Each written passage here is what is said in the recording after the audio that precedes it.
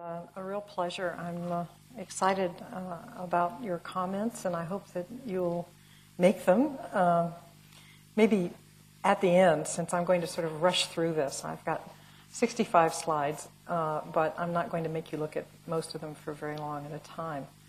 My plan is to uh, spend just a little bit of time on historical ecology, maybe five minutes or so, eight minutes, so that those of you not as familiar with it uh, can get the general idea.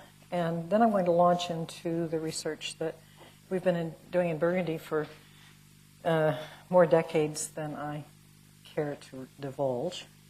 But uh, I think once you see a little bit about the project, uh, you'll understand why it's taken us so long. First of all, um, I would like to uh, say that I have a debt of gratitude to um, Aldo Leopold and his book, A Sand County Almanac, which I read many years ago.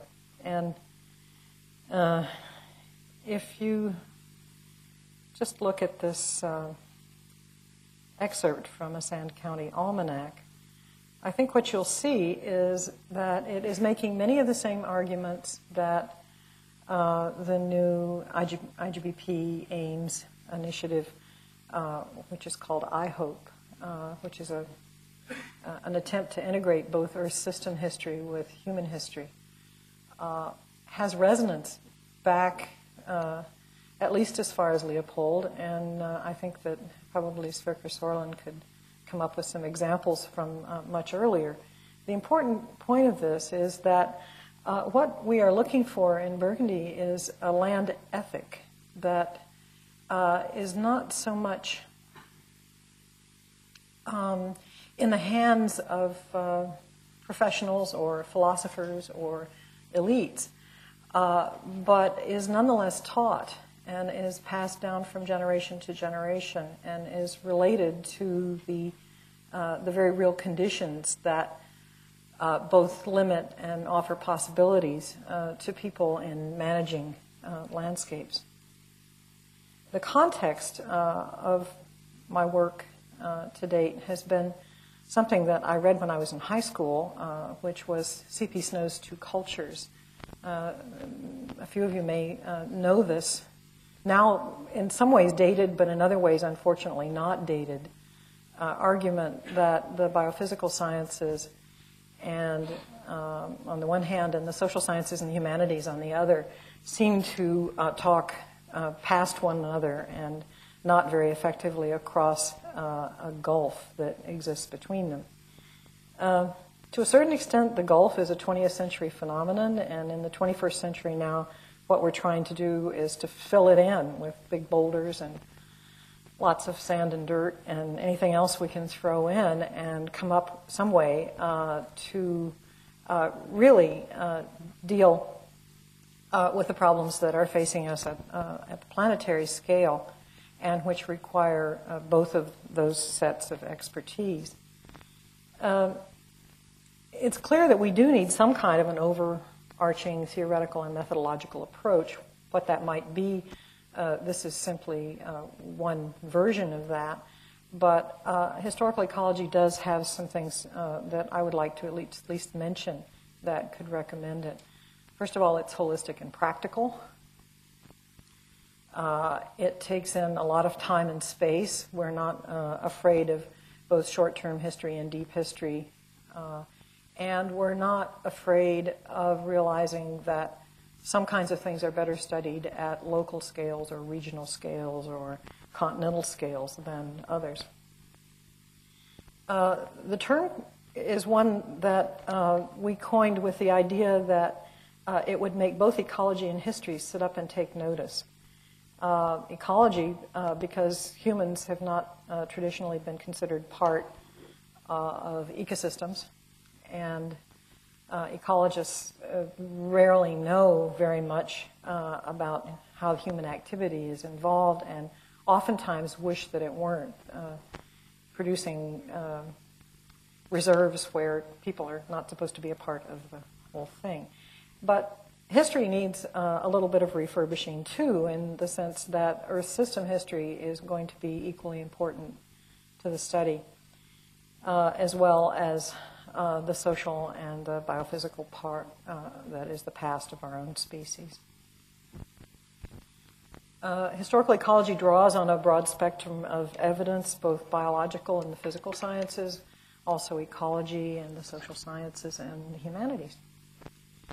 Uh, we have uh, very much defended the possibilities of um, researchers to uh, continue to follow the protocols in their own research areas and uh, to work up a scheme for negotiation on how those researchers would work with, uh, with others. And this builds consensus among uh, collaborators. Uh, we seek a kind of an interdisciplinary approach rather than just sort of plastering together a, a bunch of different disciplines and uh, calling that a research result.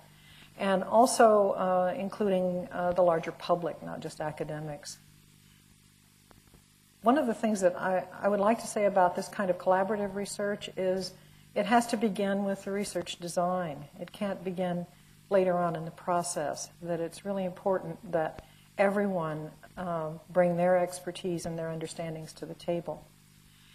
Uh, another characteristic of historical ecology is that uh, we believe that uh, traditional environmental knowledge is science, and uh, that it needs to be integrated into the scientific framework in a very real way. We uh, assume uh, that landscapes um, uh, result from a whole bunch of different factors uh, operating uh, over a long, long periods of time.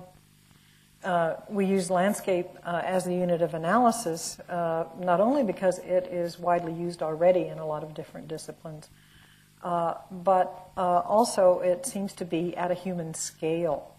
And so that makes it uh, a powerful platform uh, for integrating everything from um, uh, glo- global scale climate change down to, through microscopic analyses that are going to be important as well. And uh, also, it reminds us that landscapes are uh, mosaics and not nest- nested in hierarchical structures. We tend to think of hierarchies all the time in terms of the way that we pursue scale. But actually, uh, cross scale issues are a lot uh, more important, particularly if we think about all of this work in a complex systems uh, context. And there's also a lot of room for politics. Uh, landscape history is, uh, to my way of thinking, uh, kind of a congealed politics that can be unpacked by looking, by following the trail, if you will, of the struggle over resources. When we think about modeling a coupled Earth-human system, there are certain kinds of things that I think we have to remember, uh, and this is a challenge, I think, to the research that uh, IHOPE and uh, other integrative communities are facing. First of all, uh, there are cultural models, and Leopold's land ethics uh, is a, an idea, uh, a, a, kind of a way of thinking about people's views of the world, views of nature, views of their work uh, in society.